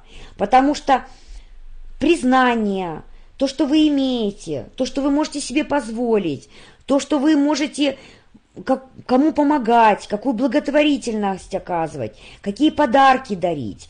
Ведь это тоже же признание, ведь это тоже значимость. Значимость в семье, значимость среди друзей, значимость среди близких, значимость среди своей структуры, среди своих коллег, значимость в компании. Что вы хотите? Почти все хотят, а, все хотят много зарабатывать. А сколько именно вы хотите зарабатывать? Сколько сейчас? А сколько потом? А сколько через определенное время?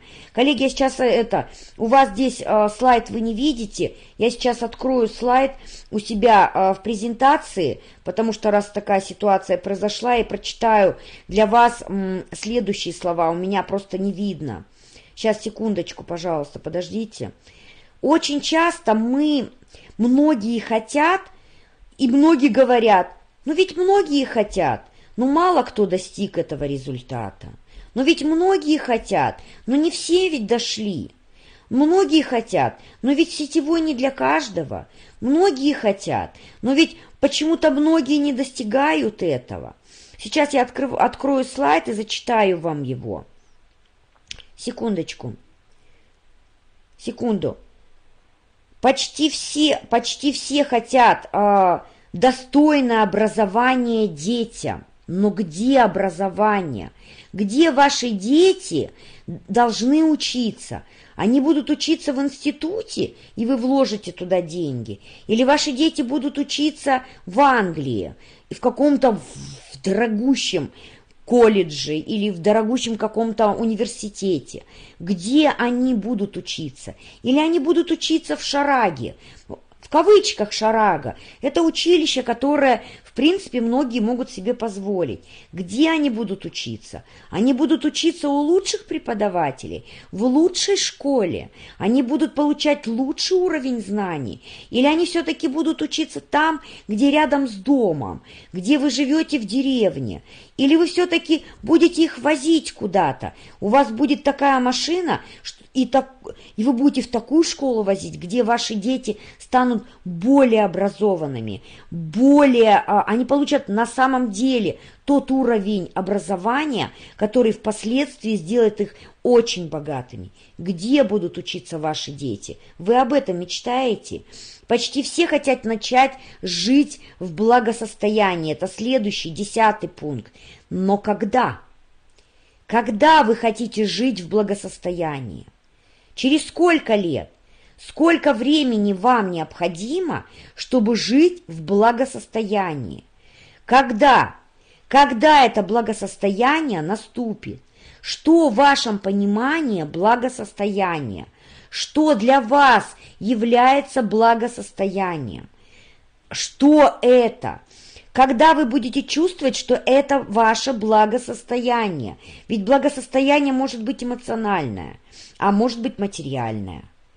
Вот две грани, которые нужно обязательно для себя определить. Вот две грани, когда вы должны поставить временные рамки и понять для себя, сейчас я иду к этому, но я повышаю уровень нормы впоследствии, потому что я хочу намного больше, чем я хотела до этого. Вот вам очень нужно будет хорошо поработать со своими мечтами, и еще и раз рассмотреть, если вы писали книгу желаний, рассмотреть в этой книге желаний основные мечты. На каком уровне нормы они находятся, на каком уровне стоимости и какие они. Ведь все хотят, мно... ну я, я ни одного человека не знаю, кто не хочет. Даже если они хотят, например, есть люди, которые мало хотят, но они все равно хотят. Они хотят хорошо кушать, спать на хорошей постели, они хотят есть на хорошей посуде, они все равно хотят. Тогда что тебе мешает сделать так, как многие другие? Многие хотят, но уже многие уже у, у, сейчас имеют вот это все, о чем мы сейчас с вами говорим. Уже многие сейчас запланировали вот это движение и повышение уровня нормы. Они уже сейчас понимают, если я сейчас не подниму этот уровень нормы и не пойду туда, то наступит момент, когда будет мучительно больно за бесцельно прожитые годы. Что тебе мешает уже сейчас пойти в эту сторону? Я сказала так утрированно, что тебе, простите, что так фамильярно, но просто вот, ну, вот написала. Вот такую картинку я вам сделала. Я очень долго искала, написала прямо в Яндексе э, сравнение Запорожца и Бентли. И мне вышла вот такая картинка. Запорожец, на котором написано Бентли. И многие воспринимают, это, конечно, утрированный вариант, но многие воспринимают свою машину, которую они купили.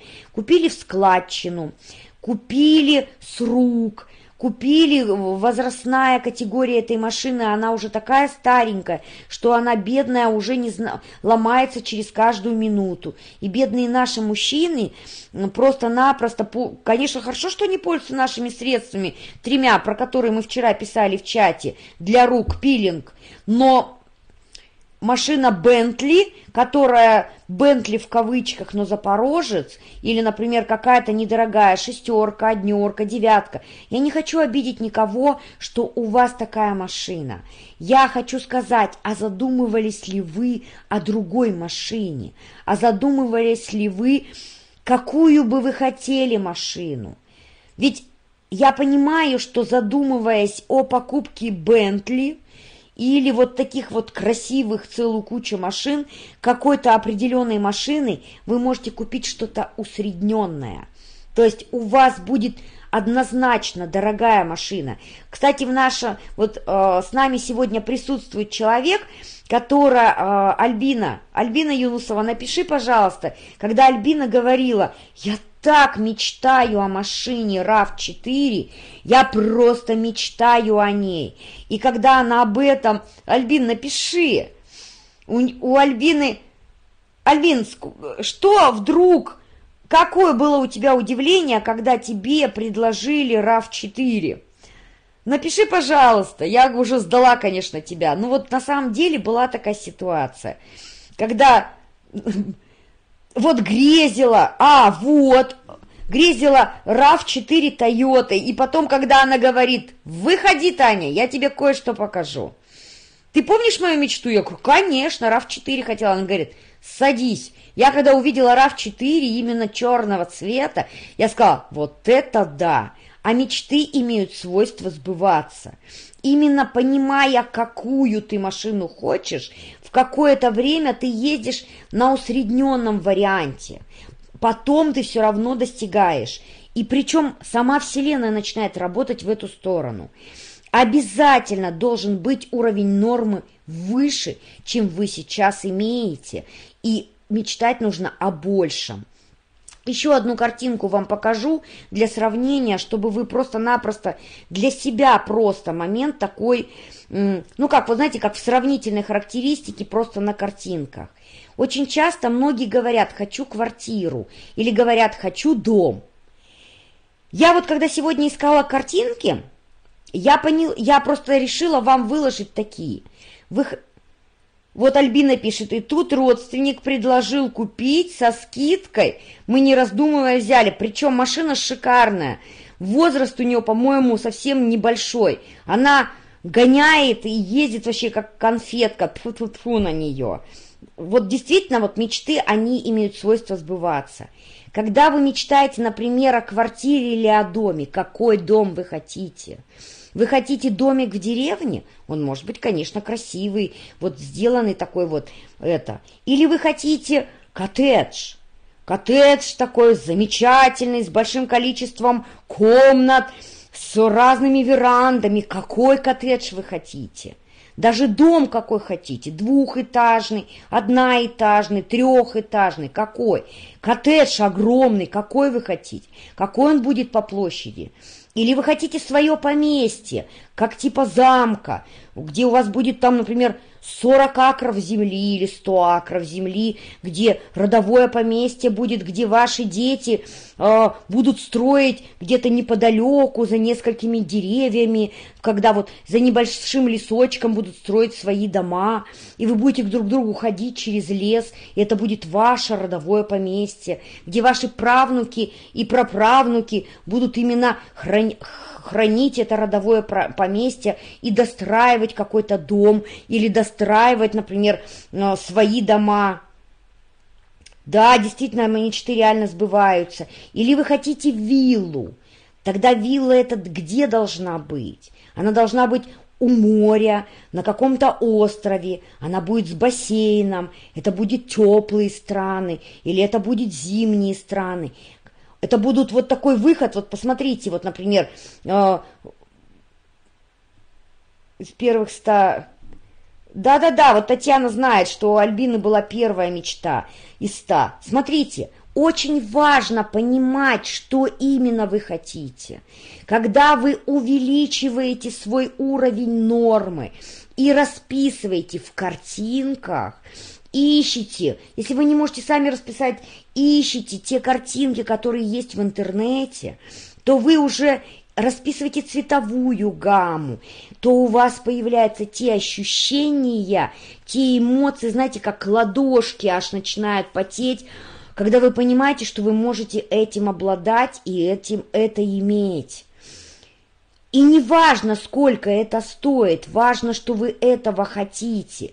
Когда вы понимаете, что вы этого хотите, только потом вы берете и расписываете уже стоимость, а, через что нужно сделать, как идти к этой цели и многое другое.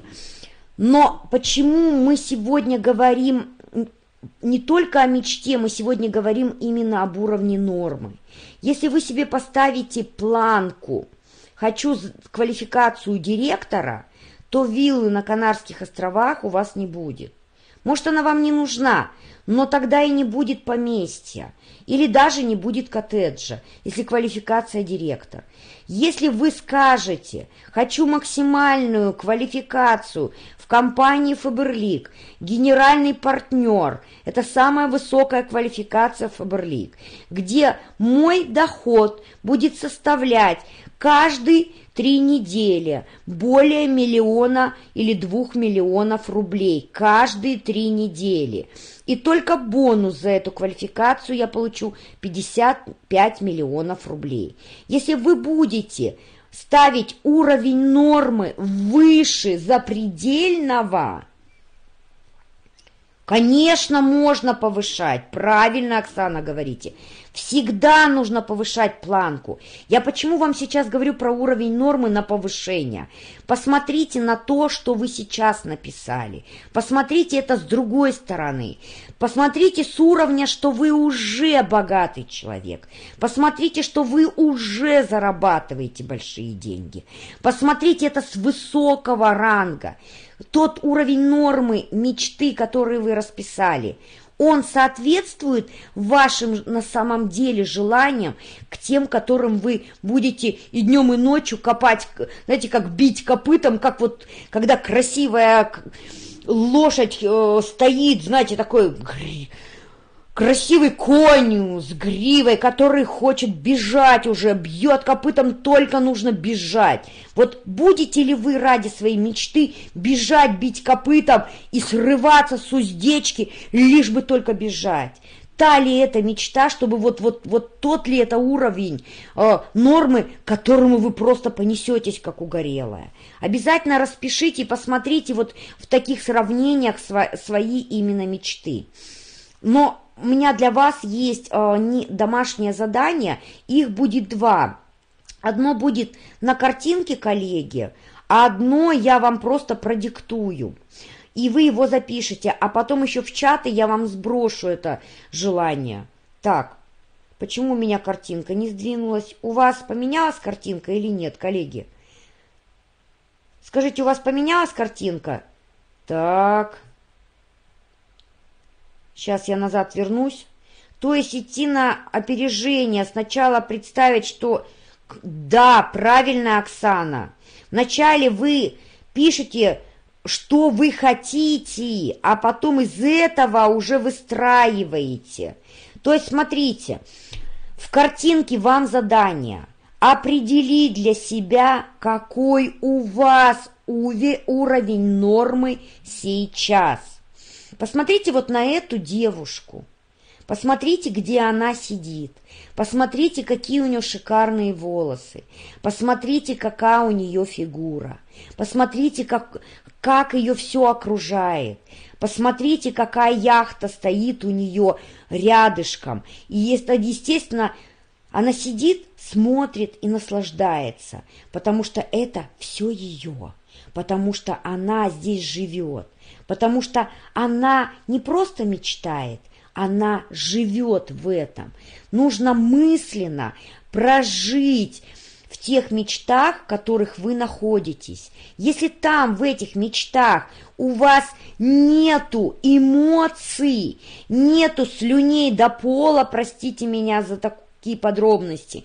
Если у вас ладошки не потеют, ощущ... от ощ... сердце не начинает биться, тыш-тыш-тыш-тыш, то это не та мечта. Поднимайте планку, поднимайте уровень нормы, поднимайте, и потом оттуда начните плясать обратно. Через сколько это может быть? Это же не значит, что это должно быть через два месяца. Вы же можете вот такое поместье родовое запланировать через пять или через десять лет. И оттуда постепенно вывести, что будет сейчас, как вы будете туда идти, что вы будете делать, с кем вы будете идти. Вот важно. Поэтому первое задание, запишите домашнее задание, определить, какой у вас уровень нормы. Это первое домашнее задание. Смотрим следующий слайд. Второе домашнее задание. Как поменять уровень нормы? А, сдвинулась, коллеги, потом сброшу картинку вам более четкую в чате, вы ее увидите. Во-первых, шикарная картинка, которую я здесь вложила. Мечты – это реальность, которая ждет своего часа. Каждая мечта, самая несбыточная, она ждет своего часа, от вас. Она ждет, когда вы скажете, да, я буду тебя хотеть, и я буду к тебе идти. До тех пор, пока вы не захотите эту мечту, она будет вас ждать. Возможно, вы никогда не захотите. Возможно, вы так и будете жить тем уровнем нормы, который у вас есть. Это ваше право выбора. Это не значит, что вы плохой человек. Значит, вы приняли такое решение но для себя будьте абсолютно честным, устраивает ли вас эта жизненная позиция. Смотрите, что вам, как нужно поднять уровень нормы. Вот 10 пунктов, которые вам помогут в этом. Первое. Написать свои желания. Сейчас я, коллеги, опять перейду в презентацию к себе. Вы не будете эту картинку видеть, я буду видеть эту картинку. Как поднять уровень нормы? Первое. Написать свои желания, если кто-то еще не написал. Их должно быть не менее 300 штук, не менее 300 желаний. Из этих желаний нужно выделить основные, основные самые крупные. Второе. Определить их по высоте нормы. То есть, когда... вот, например, смотрите, какой момент. Вы, предположим, написали желание – 300. Если они у вас написаны, зайдите в них, посмотрите, какие у вас э, низ, по низкому уровню нормы желания, какие у вас по среднему уровню нормы и какие по высокому. И вот те, которые по самый высокий уровень нормы, поставьте их в приоритете, поставьте их как основные. Если вы пойдете именно к этим желаниям, то те, которые в низком уровне, в среднем, они сами собой реализуются на пути к этим высоким желаниям, вот к тем, которые более высокие. Третье. Повысить уровень желаний нужно, если вы видите, что они слишком у вас низкого уровня. То есть, например, хотите, предположим, нижнее белье. напишите стоимость этого белья дороже. Хотите, например, а, предположим, телевизор. Показатели телевизора увеличьте, потому что точно так же телевизор может стоить большой, большого формата, может стоить порядка 11 тысяч, а может большого формата может стоить 35 или 100 тысяч. Поднимите уровень нормы покупки телевизора. Вот, вот, вот берите просто свою мечту и увеличивайте ее или в объемах, или увеличивайте в стоимости. Потому что если вы увеличите в объемах, стоимость однозначно увеличится. Понятно сказала? Я, я не говорю, что нужно, например, бюстгальтер увеличить чашки в бюстгальтере. Я шучу, конечно, но просто стоимость увеличивайте. Или, например, если вы пишете нижнее белье, напишите «Купить 30 комплектов например, под каждое платье разной цветовой гаммы. Если босоножки пиши, пишите купить 20 пар босоножек э, вот таких-то цветов под каждое платье. Увеличивайте в объеме, увеличивайте в стоимости. Тогда у вас автоматически начнет увеличиваться уровень нормы. Пятый пункт. Ой, четвертый пункт. Обсудите с человеком, то, что вы написали уже, у кого высокий уровень нормы. Не обсуждайте с тем, кто живет по привычке, у кого низкий уровень нормы и прожиточный минимум. Он вам повертит у виска и скажет, ну все, совсем с, с, это, с катушек съехала, с ума сошла, непонятно чем занимаешься. Вот точно покрутит у виска. Поговорите с теми людьми, которые, которые зарабатывают больше, которые живут лучше. Поговорите со своими наставниками, поговорите со своими директорами, поговорите со мной, поделитесь. Поделитесь тем, чего вы хотите, чтобы вот обсудить этот момент, чтобы вы услышали, знаете как, вот со стороны, ух ты, ух, какой ты молодец, ничего себе, чего ты хочешь. Вот это состояние одобрям, то есть в кавычках, конечно, одобрям, вы услышите при обсуждении именно с этими людьми, и у вас получится дополнительная самомотивация для движения и для увеличения уровня нормы. А окружите себя успешными людьми. Если вас, ваше окружение более любимое, но более низкого формата, то есть, ну не то, что низкого формата, а, например, ну ничего не хотят или хотят очень мало, постарайтесь чаще быть с теми людьми, которые более успешные. Старайтесь, если у вас рядышком таких людей нету, начните э, в интернете э, смотреть видео успешных людей. Вот старайтесь максимальное количество времени, ну или хотя бы почаще быть с теми людьми, которые более успешны, чтобы ваше окружение пополнялось такими людьми, и они становились вашими друзьями. Шестой пункт. Позволяй, позволять, позволяйте себе каждый день что-то более дорогое. Например, предположим, когда вы идете за продуктами, и вы никогда, например, не покупали, предположим, какой-то фрукт. Например, если вы не покупали никогда авокадо, ну, предположим, авокадо, возьмите, купите себе авокадо. Посмотрите в интернете, куда добавляется этот фрукт, как его вообще готовят. Если вы, например, авокадо позволяли, купите себе, например, манго. Или купите вот что-то такое более дорогое, что вы раньше себе не позволяли. Каждый день что-то более дорогое, но одно.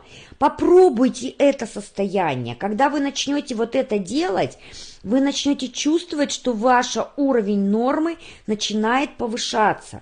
Если вы, себе, если вы будете чувствовать, что вы не можете себе этого позволить, повышайте это постепенно и каждый день что-то новое, более дорогое покупайте себе. Ну, не обязательно на большие суммы, хотя бы на маленькие. Тогда вы начнете это вот ощущать, ощущать на подкорке. А, следующий пункт. Отдыхайте, а, а, отдыхайте в более дорогих отелях. Если вы едете куда-то, то едьте в дорогой отель. То есть, например, если вы в отпуск едете куда-то, едьте не в трехзвездочный отель, а обязательно купите путевку в четырех, в пятизвездочный отель. Вы увидите разницу. Вы увидите, не дикарем едьте, а если, предположим, даже едете на озеро, не дикарем едьте, а попробуйте снять домик э, с питанием Попробуйте ощутить вот эти ощущения. Вы просто начнете по-другому себя чувствовать. Если, например, у вас есть такая возможность, то начните просто ходить в более дорогие рестораны, а не в простые кафешки. Или в дорогие кафе. В кафе дорогое мороженого. Или какие-то эксклюзивные кафе. А, начните позволять себе хотя бы массаж один раз в месяц. Или вот, ну попробуйте. Попробуйте походить в бутики и хотя бы там что-то купить. Не можете позволить себе кофточку купить в бутике, купите там какое-нибудь украшение. А, поднимайте постепенно вот этот уровень нормы, привыкайте к более дорогому, привыкайте к более качественному. Вам нужно на своей, как, извините за такую подробность, на своей шкуре испытать, что значит иметь это и быть в этом состоянии. У меня была шуба, которую я купила себе. Она стоила на тот момент, много лет назад, 95 тысяч, а я купила ее со скидкой за 54. Для меня 54 было что-то запредельное. Я брала ее в рассрочку, я купила, и для меня уже поднятие уровня нормы получилось. Но когда я по, спустя несколько лет купила себе шубу в Турции за 500 тысяч, то я понимаю, чем отличается эта шуба от этой. Она не только внешне отличается, она отличается абсолютно всем. Хотя внешне, в принципе, шуба за 500 тысяч – не какая-то прибабахнута, она просто обыкновенная шуба, но качество самой одежды, оно кардинально отличается. Поэтому, когда вы начнете покупать себе более дорогие вещи, как я начала в определенный момент, вначале украшения, потом колготки, потом кофточку, потом, например, брючки, потом ночнушечку, потом уже костюм, потом платье. И когда я начала это себе позволять по чуть-чуть, по чуть-чуть, потому что было время, когда я радовалась, Господи, я на 10 тысяч смогла себе разом позволить пять вещей на 10 тысяч. Ничего себе было у меня такое восклицание. А потом я приехала и купила себе платье на один вечер на поездку на ассамблею за 25 тысяч. Наряд за 25, один наряд, который можно одеть только вот на такое мероприятие или на какое-то очень крупное торжество и нигде носить не будешь. Вот когда вы вот этот уровень нормы постепенно начнете поднимать даже в одежде, вы увидите, как вы себя будете чувствовать. Вы начнете себя видеть по-другому, в зеркале и чувствовать по-другому. И люди вас воспринимать точно по-другому будут. Каждый день, девятое, мечтайте о своих мечтах. Что это значит? Перед сном, обязательно, когда вы ложитесь, вы представляете ту мечту, о которой вы мечтаете, ту основную, которую вы поставили на первую планку, куда вы пойдете. Вы представляете, как вы там уже находитесь, что вы чувствуете. Вы каждый день представляете, и каждый день у вас будет что-то изменяться. Очень хорошо, если вы будете засыпать с этим представлением. Я на себе это испробовала. Когда я каждый день в течение двух недель делала такой момент по поводу своей мечты, у меня эта мечта реализовалась. Потом я, когда поняла, что она случилась через то время, которое я хотела, то есть все начало работать на то, чтобы я пришла к этой мечте. Я стала это делать каждый раз. То есть, как появляется новая мечта, я каждый вечер теперь ложусь, закрываю глаза и перед сном представляю себя, что я уже там нахожусь. То есть, я мечтаю о своей мечте перед сном. Десятое. А, откажитесь, вычеркните просто страх. Просто вычеркните. Если вам становится страшно, вы говорите «стоп», Нет страха, есть мечта, к которой я иду. И просто идите туда. Это тот валун, который лежит у вас на дороге и от своего размера вам кажется страшным. А представьте, что этот страх, вот этот валун, он сделал, например, из папье-маше. И даже самый маленький ребенок вот такую большую глыбу из папье-маше может сдвинуть. Каждый из вас может представить свой страх вот таким простым, который можно сдвинуть. Как только вы эти 10 пунктов начнете делать, то сама Вселенная начнет говорить вам «слушаю и повинуюсь». Она просто будет слушать вас и повиноваться, и все сотворять в вашу сторону. Это второе домашнее задание, которое необходимо сделать. И теперь, коллеги, третье домашнее задание, которое я на слайд не поместила, сделаю и сброшу в чате. Но сейчас, сейчас я вам просто-напросто а, сейчас напишу это домашнее задание. Записывайте, пожалуйста. Первое. Я сейчас буду писать здесь. Так, это нужно убрать. Так, вырезать. Сейчас вот это я вырежу, коллеги, и напишу вам просто слова. Вырезать. А, удалить ссылку. Удалила. Опять получается, что у нас это. Вот прям ссылка срабатывает. Не хочу ссылку и не знаю, как ее убрать. Не получается. Так, как же мне сделать-то? А, вот, отлично. Смотрите. Смотрите, что мы делаем. Записывайте. Первое. Первое из третьего домашнего задания. Первое. Берем. Берем. И представляем. Записывайте тоже за мной. И представляем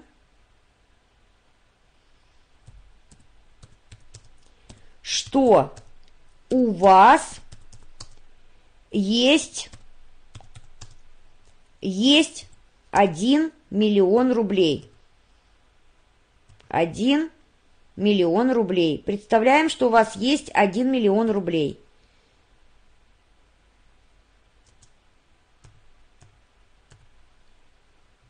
Записываете? Если записываете, поставьте плюсики, чтобы я видела. У вас есть 1 миллион рублей. Что вам нужно сделать с этим миллионом рублей? Вот сейчас будет очень забавное задание, которое будет очень интересным. Вам необходимо, необходимо этот миллион, этот миллион рублей, миллион расписать на стол на продукты для стола.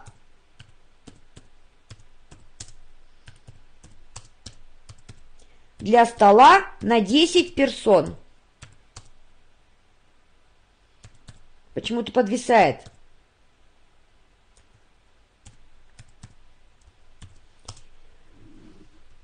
Коллеги, э, напишите мне, пожалуйста, все ли поняли задание? Все ли поняли задание а, одно из третьего? Это одно из третьего. Напишите «поняла». Что-то никто не улыбается. У вас есть миллион, миллион рублей. Вам необходимо купить, расписать и купить, ну, э, представить, что вы покупаете на этот миллион продукты, на 10 персон. То есть к вам должны прийти гости. Вам нужно расписать весь этот миллион на те продукты, которые вы купите на этот стол для 10 гостей. То есть какие блюда вы будете готовить, что вы туда добавите, а, какие там будут, может быть, нарезки какие-то. Вот вам нужно это расписать. А, благо сейчас есть в помощь окей, Google, есть Google, и если вы, например, не знаете, сколько, например, стоят э, какие-то определенные продукты, а, вы можете посмотреть среднюю, может быть, вы вообще их не видели никогда, то вы можете посмотреть, сколько приблизительно это может стоить, ну, в среднем, вообще э, в мире, какой-то так, какой такой продукт.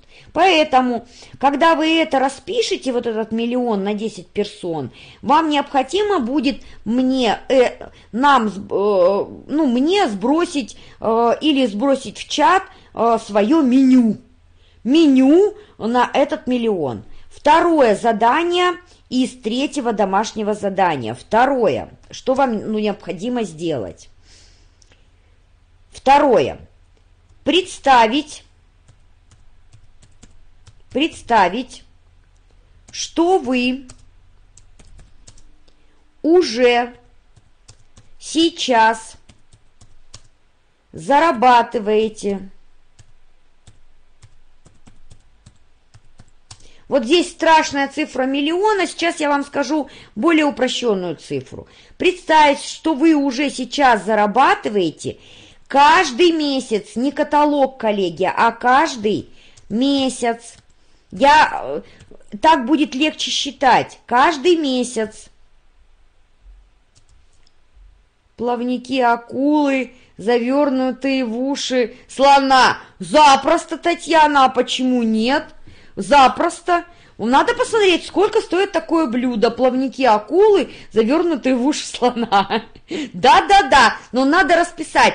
Это, вот этот пример, э, мы когда ехали в Москву, Дарья вам Титова рассказывала, как мы, когда она первый раз познакомилась со мной и ехала в Москву на, на, на форум компании. И вот им в поезде я давала такое домашнее задание. Их было трое человек, и они вот расписывали такое такое задание. И вот, вот это сейчас есть интернет, и можно посмотреть, чего сколько стоит, какой продукт. А там-то никак. Они бегали по вагону задавали вопросы, а сколько стоит миди, а сколько стоит это, а сколько стоит это. И пока вот, вот не расписали миллион, они не успокоились. Но вот именно она вот сейчас вспоминает этот момент, Даша, она на, на вебинарах рассказывала, что говорит, вот тогда это было толчком, что я, оказывается, могу позволить себе что-то, а я об этом даже не задумываюсь.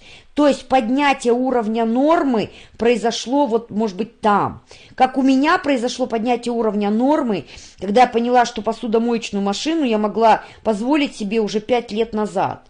А я думала, придумывала, что я, оказывается, не могу себе ее позволить и пять лет жила без посудомоечной машины, хотя она мне была нужна.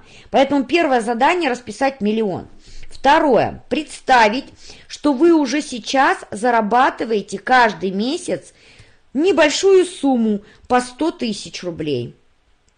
По 100 тысяч рублей. Всего лишь. 100 тысяч рублей вы зарабатываете каждый месяц.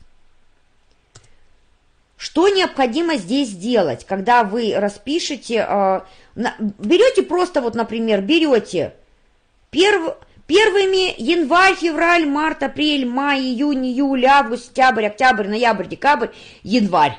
И до января. С января до января вы расписываете, что вы каждый месяц получаете по 100 тысяч. Что вам не... Ой, я лишний ноль нарисовала. Лишний нулечек. Лишний нулечек. 100 тысяч. Что вам необходимо здесь сделать, когда вы распишете вот, что вы, э, как его, по 100 тысяч? Первое, что вам здесь необходимо сделать, это а, расписать все обязательные расходы, которые у вас сейчас есть. Все обязательные расходы, которые у вас есть которые сейчас. Я напишу, которые сейчас. Что это такое? Это будут те расходы, например, если у вас есть кредит, и вам каждый месяц нужно платить определенную сумму.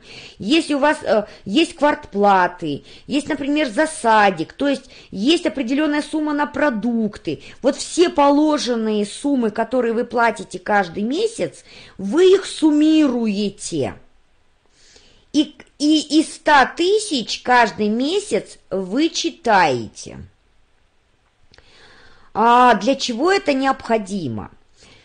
Вы будете здесь видеть, а, смотреть, сколько у вас денег может остаться. Может, конечно, не остаться, но может остаться. Вы вычитаете, вычесть, вычесть из 100 тысяч. Из, ну, из 100 тысяч, понятно? Не пишется почему-то у меня. Вычесть из 100 тысяч. Когда вы вычтите, то вы потом пишете, сколько денег осталось. И их необходимо будет записать, как будто бы вы отложили на свою мечту. То есть написать, какую сумму вы отложили. Ваша задача определить тот месяц, когда вы полностью рассчитаетесь со своими кредитами если вы, например, определите для себя быстрее с ними рассчитаться. Может быть, вы на мечту не будете откладывать, а может быть, вы в первую очередь рассчитаетесь с кредитами. И останется у вас только обычные э, платежи, которые обычные, которые покушать, заплатить за квартиру, там, например, купить ребенку одежду, э, купить мужу там бритвенный набор или еще что-то. То есть вам нужно этот год расписать. Расписать с вычетами, определить, когда закроется кредит. Если вы решите в первую очередь э, его закрыть, я бы так сделала на вашем месте. И потом, следующий момент, который вам нужно сделать, вам нужно подсчитать, подсчитать ту сумму, которая у вас должна накопиться, которая у вас должна накопиться. Так, пишется, не пишется, накопиться, сделать. Написать ту сумму, которая должна накопиться. И, по, и посмотреть, сколько вам необходимо месяцев учитывая эту сумму, чтобы реализовать свою мечту. Может быть, месяцев, может быть, недель, ну, я не знаю. Ну, в общем, посмотрите, какова будет эта сумма. То есть, сколько, сколько месяцев до мечты? Я слайд сделаю более четкий, вам сброшу потом. Сколько месяцев, месяцев до мечты? То есть сколько месяцев вам нужно зарабатывать, чтобы мечта реализовалась? До мечты. Есть ли вопросы по, по этому заданию, коллеги? Коллеги, есть ли вопросы по этому заданию? Вот смотрите, первое понятно, вы сказали, что э, расписать стол. Все, на миллион рублей. Второе. Расписываете январь 100 тысяч, февраль 100 тысяч и так далее. Все по, по 100 до января следующего года. Ну, его тоже учитывайте, чтобы было с января по январь. И начинаете вычитать все свои положенные, которые у вас затраты есть ежедневно, ежемесячные. И смотрите, остаются деньги или не остаются. Если остаются деньги, вы их определяете или кредит закрыть быстрее, большую сумму положить, или отложить на мечту. Это вы уже решаете сами. И потом, когда у вас все кредиты закроются, считаете, сколько вам необходимо месяцев, зарабатывать месяцев, зарабатывать по 100 тысяч, чтобы свои, ваша мечта реализовалась. Те, кто мне предоставит а, именно количество месяцев, сколько вам нужно зарабатывать, чтобы реализовать свою мечту, тому я скажу, как это легко и просто сделать. Это будет такой подарок вам.